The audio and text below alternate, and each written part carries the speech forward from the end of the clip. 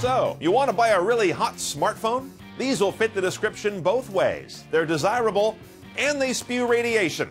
I'm Brian Cooley with the CNET Top 5. This time we're ranking smartphones based on their SAR, or specific absorption rate, which tells you the watts of power absorbed per kilogram of tissue.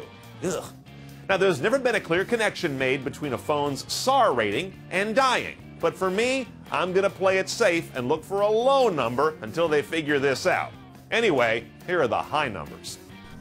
Number 5 is the T-Mobile Dash 3G with a SAR of 1.47, not too far from the US government limit of 1.6. Nice keyboard, slick design, GPS, 2 megapixel camera, and it's not on AT&T, so it's got that going for it. Number 4 is the Palm Pixie Plus, also at a toasty 1.47 SAR, one of the sleekest smartphone designs ever, and it runs the much-loved Palm Web OS. But HP just bought Palm, and their CEO Mark Hurd recently made it clear they didn't do it to be in the phone business. So this might not be a great pick unless you like buying your phones on eBay. Number three is the Motorola Droid at a SAR rating of 1.49. No phone has done so much to propel the Android operating system as this squared off little bacon fryer. Great touchscreen, power to really run Android well, and it has access to the only collection of apps that ever causes Apple to lose at least a little bit of sleep. Just bring a foil hat. Number two is the BlackBerry Bold 9000 with a SAR rating of 1.51.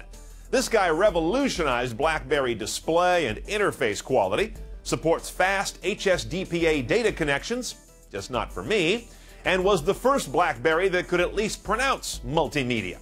The latest version, the 9700, loses the annoying little pearl ball that always seems to get food stuck in it, which is kind of handy because you can cook it by just making a call. Before we get to the number one dirtiest smartphone, what about the iPhone? Well, the SAR on that model varies by which iPhone you have. The 3G is the dirtiest at 1.38. The very first iPhone, the original, much cleaner at 0.97, and the 3GS is the best at 0.78. Steve wants you around to buy more apps. At number one is another BlackBerry, the ubiquitous Curve 8330, with a SAR rating of 1.54, hard up against the limit. Guys, don't lay this one in your lap if you like getting Father's Day cards.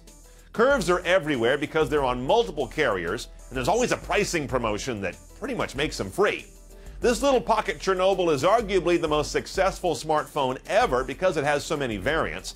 Everyone loves the keyboard, and let's face it, your company will probably make you carry one at some point, but it's a crappy web device and not a good choice unless you like your bacon crisp. That's it for this edition of CNET Top 5. Use a headset. I'm Brian Cooley. See you next time.